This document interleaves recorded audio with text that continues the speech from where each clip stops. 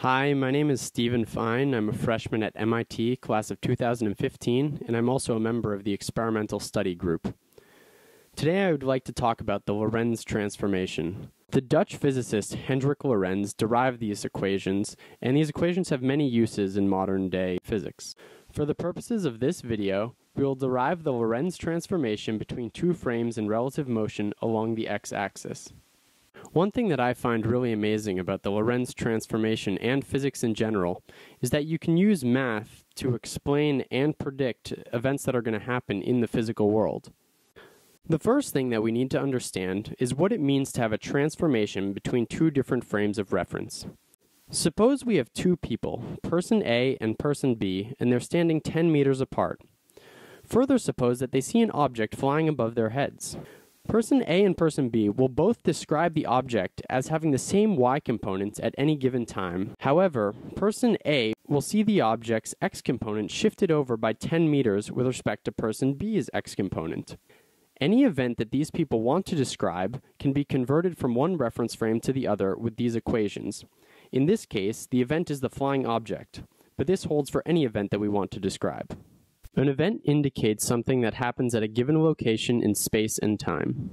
The Lorentz transformation transforms between two different reference frames when one is moving with a constant velocity with respect to the other.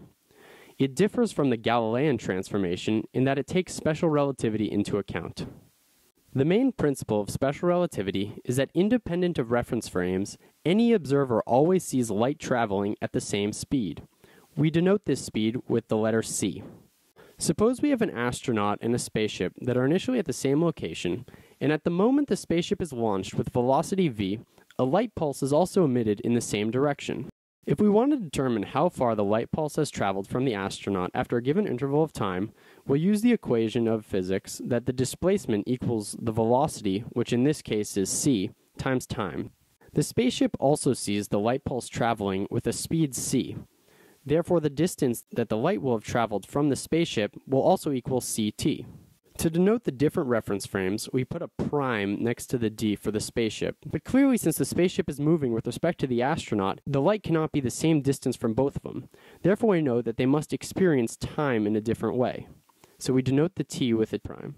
The Lorentz transformation will help us understand exactly what is happening in this situation. To derive the Lorentz transformation, we need to start out with an arbitrary transformation. We initially start out with z prime equals z, y prime equals y, x prime equals ax plus bt, and t prime equals dx plus et.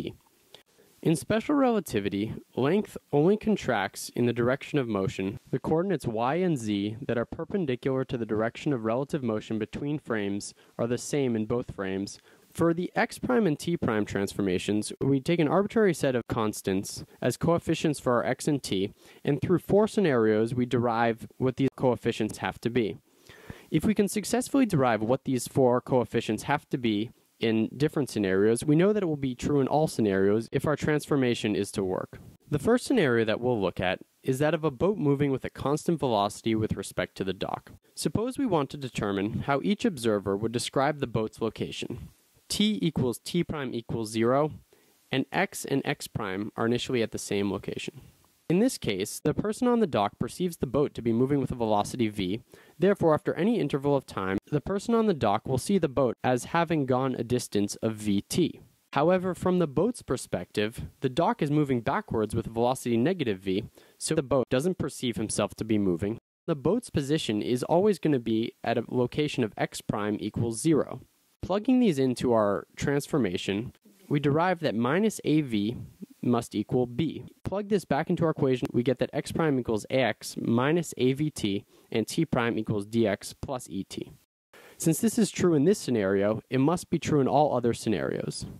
The second scenario has the same boat and the same dock, however in this case we want to determine where the location of the dock is from both perspectives. Since the person on the dock doesn't perceive himself to be moving, he would describe his location at the coordinate x equals 0.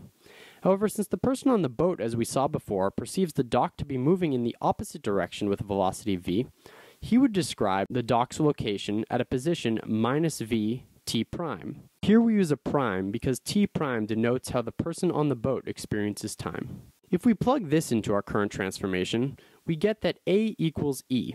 So if we plug this back into our equation, our new transformation becomes x prime equals A times x minus vt, and t prime equals dx plus at. For the next two scenarios, we'll take a look back at our scenario with our rocket ship and our astronaut. At t equals t prime equals 0, we launch our rocket ship with a constant velocity v in the x direction. We also at the same time emit a light pulse in the same direction.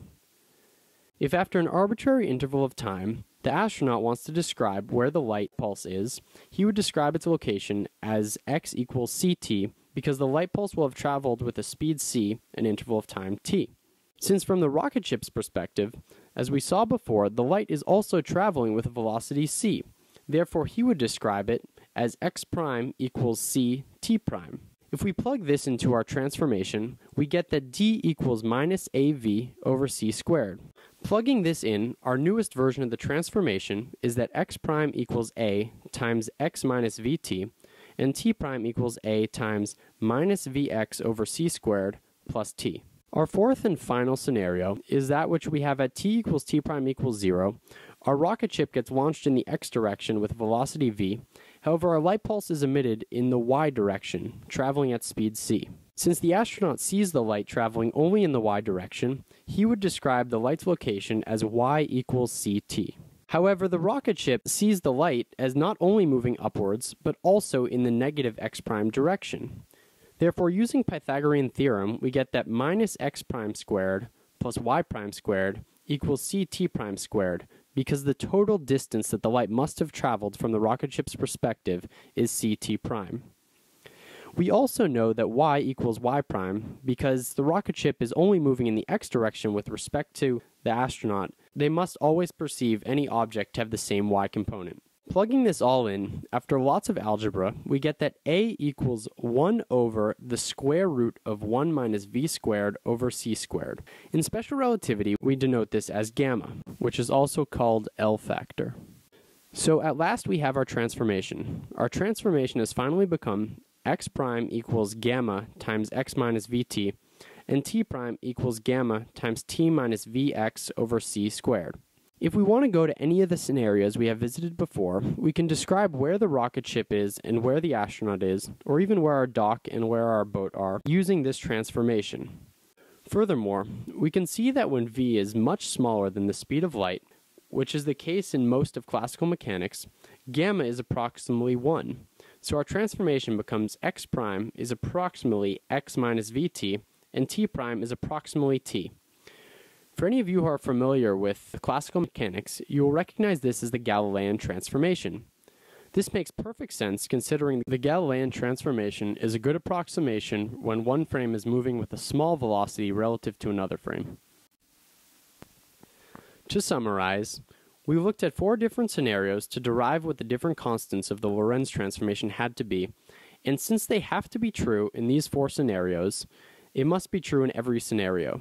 Therefore, we now have a transformation that can determine how one reference frame observes any event to happen that another reference frame might also observe, even if one is moving with a velocity with respect to the other.